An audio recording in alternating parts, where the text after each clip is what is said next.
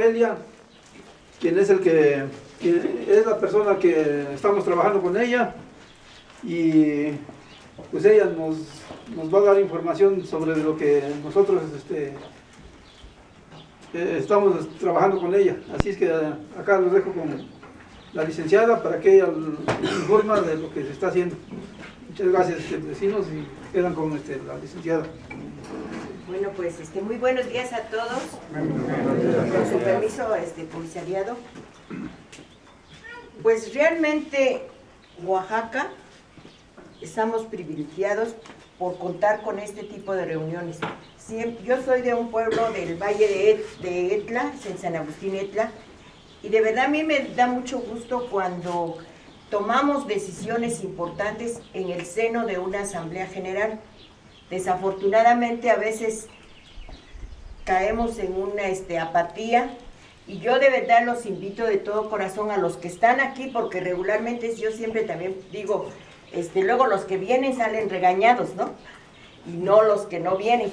Pero no se desanimen ustedes que vienen, porque si no se junta el 50% más uno, hay que lanzar a una segunda convocatoria donde aunque haya 50, haya 20, todos los acuerdos son válidos.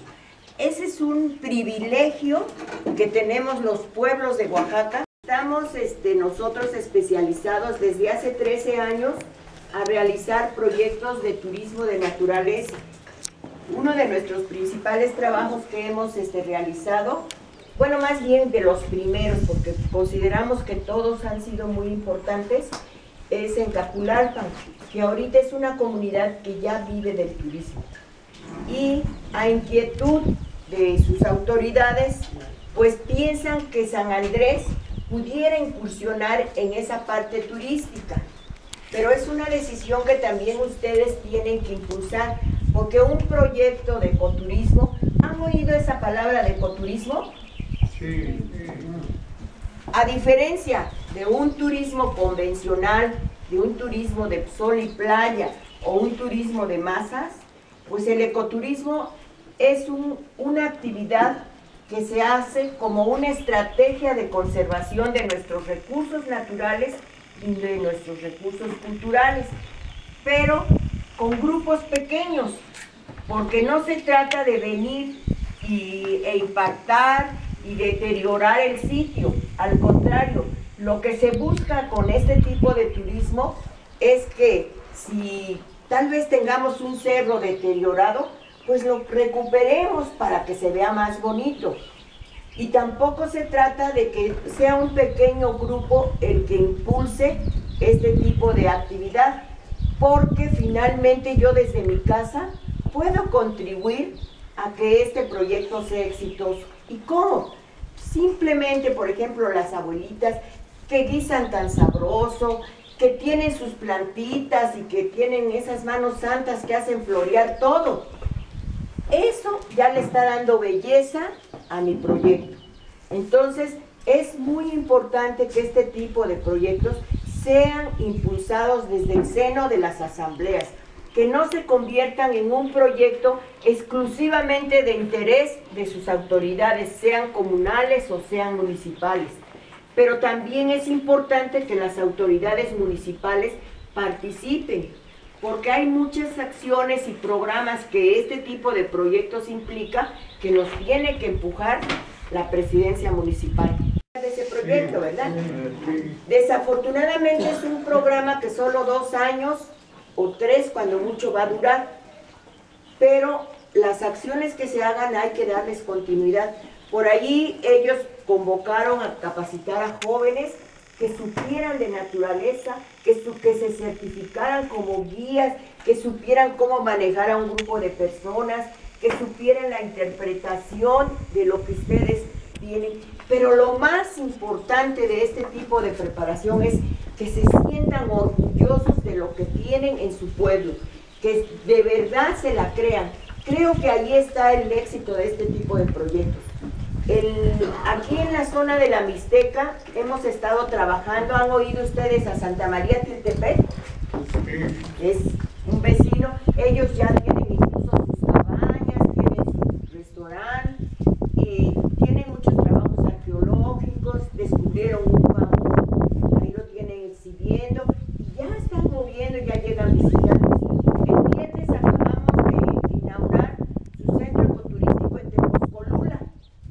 Porque ¿qué pasaba con Tepozcolula? Todos sabemos que tiene su capilla abierta, que es muy bonita, que se restauró, que quedó muy atractiva. Pero fíjense en las estadísticas de la Secretaría de Turismo, parece ser que tienen como 10 mil visitantes al año, pero de los cuales no dejan un solo peso en beneficio de la comunidad. Estas estén de acuerdo. Y también a partir de esto pueden decir, oiga, yo quisiera poner un comedorcito para que cuando venga el grupo vayan y allí almuercen, por ejemplo. Yo quisiera participar de esta forma. De eso se trata un proyecto de ecoturismo comunitario, porque puede que haya proyectos ecoturísticos, pero de un particular nada más. Ese no le importa si la comunidad participa o no, pero no se trata de eso. Además, estamos este, ya conformando, yo trabajo también con Tiltepec, con Tepozcolula, trabajamos con San Miguel el Grande, trabajamos con Yosondúa, que ya, por ejemplo, Yosondúa, este año ya les vamos, ya les conseguimos apoyo para instalar, se llaman puntos de venta, porque ya llega tanta gente que ya se están haciendo bolas con el ingreso, entonces ya con una computadora vamos a dar un ticket, porque tienen un puente colgante, tienen tirolesas, tienen muchas cosas.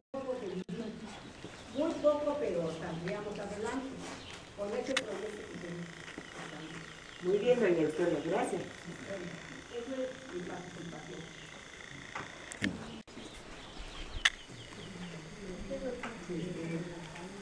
Le digo, ya que yo casi te voy a hablar un poquito del campo.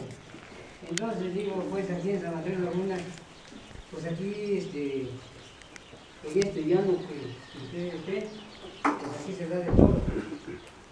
Eh, no, no tiene, no siembra, pero aquí en la pobre casa pues hay trigo, hay un poquito de teja, pero ahí estaremos ah, llevando algo que se necesita de nuestras fuerzas que tenemos, porque más ya no podemos trabajar. Entonces, está muy bien licenciada y ojalá que nuestra gente diga, sí vamos a trabajar, sí vamos a hacer. Muchas gracias. Gracias. ¿Cómo se llama usted? Eugenio Martínez Sánchez. Miren, donde Eugenio acaba de tocar un punto muy importante. Pero también quiero ser bien franca con ustedes. Yo tengo varias amistades, conozco a los funcionarios, conozco, pero me he tocado a veces yo me entusiasmo tanto. Él ya mencionó otro proyecto muy importante para el cual tienen potencial. Resulta que a veces les traigo a los funcionarios y cuando ya hay posibilidades de hacer realidad este sueño, por ejemplo, en el caso, hacer una laguna en forma que les permita este, tener una posibilidad de alimentación, pues me salen con que no, si nosotros no queríamos, o sea, la gente que vive alrededor, ¿qué piensa? ¿Qué reacción hay? ¿Realmente ustedes están de acuerdo en que echemos a andar? Porque además de que para pescar puede ser atractivo turístico. Entonces son, es de doble propósito. Y yo les ofrezco hasta donde mis conocimientos y mis este, conocidos podemos ir empujando ese proyecto, pues, de la laguna que sea, pues que ya esté todo el año, que no se pierda esa agua. Así tenemos otro centro ecoturístico en San Miguel y San Gabriel Etla. Ellos en el año 2000 tenían así algo que se estancaba el agua cuando llovía. Hicieron en forma su laguna, ahora es un proyecto exitosísimo. Tienen peces y además tienen lanchitas de pedales, tienen kayaks y es de doble propósito. Pero sí va a quedar de tarea realmente para que cuando sea su segunda asamblea y se tomen este, acuerdos, los cumplamos. Porque nosotros desde Oaxaca empujamos, pero si a la mera hora llegamos y aquí salen con que ya no, miren, eh, apenas la semana pasada estoy haciendo otro diseño de otras rutas en el Istmo.